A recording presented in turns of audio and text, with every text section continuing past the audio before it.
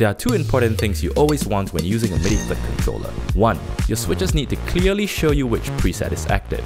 And 2. Your switches stay in sync with each other, accurately reflecting which effects are engaged or bypassed. This used to be slightly complicated to achieve, but it is now all easily done with the new toggle grouping feature on your Morningstar controller. Hello and welcome back to another video. Today we cover something that most users will want to achieve when using a Morningstar MIDI controller, and that is having the different foot switches on your controller interact with each other to accurately reflect the state of your presets and effects. With the latest firmware 3.12, we've made this really easy. And not just for the MC6 Pro, but also for all Morningstar MIDI controllers including the MC3, 6 and 8. For toggle groups to work, the switches being used must either have toggle mode enabled or have an action that toggles it. If you don't know what toggle switches are or how to set them up, watch this video first and come back to this one later. Also linked in the description below if you prefer to watch it after. When editing a preset on the editor, you'll see a button labeled Toggle Group. Upon clicking it, you'll see a drop-down list of toggle groups, and when you scroll further down, you'll find Toggle Reset Groups.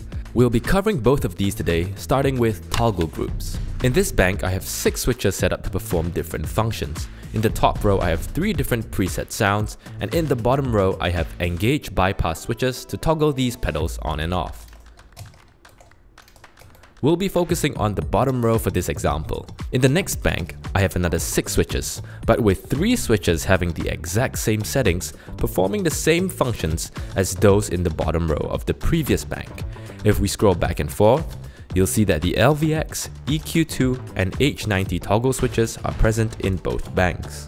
So what happens if I engage the LVX in the first bank and then scroll to the next bank? The LVX is not shown to be engaged here. Now that's a problem because the switch is no longer in sync with the actual state of the effect.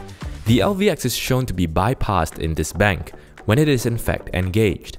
And when I hit the switch, another engage message gets sent and it does not make sense to engage a pedal that is already engaged in this case. Thankfully, we have a simple and elegant solution to this.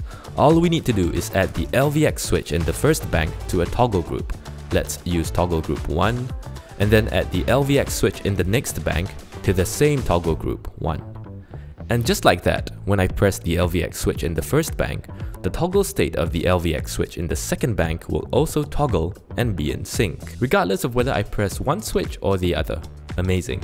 I'll go ahead to add the EQ2 switches to toggle group 2 and the H90 switches to toggle group 3 and we now have toggle on and off switches for our effects that are always locked in sync. Toggle groups also work for switches within one bank, including those on different pages in the same bank. Next, moving on to toggle reset groups. Toggle reset groups work similarly to toggle groups, but produce the opposite result. Think of it as the anti-toggle group.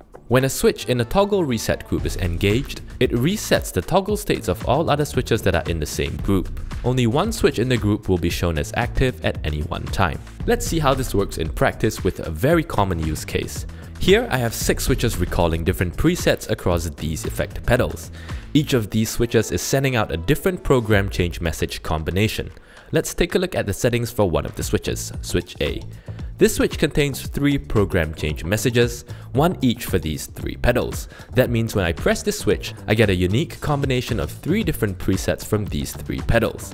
I have toggle mode enabled for this switch so that I can toggle the background color to this beautiful tomato color that I've chosen in position 2.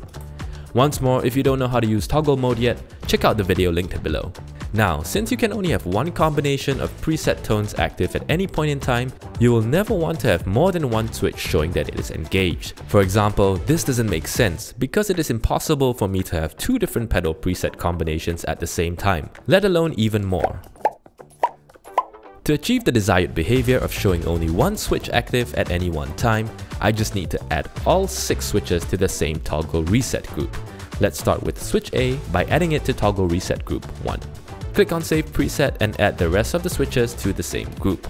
Now as I press any of these switches, you see that the last active switch gets disengaged and only one switch is shown as active at any given time. This way you can always clearly see which preset is currently engaged.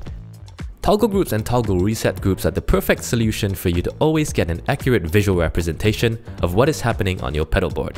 We hope you found today's video useful. Do give this video a like and remember to subscribe if you haven't already and we'll catch you in the next one.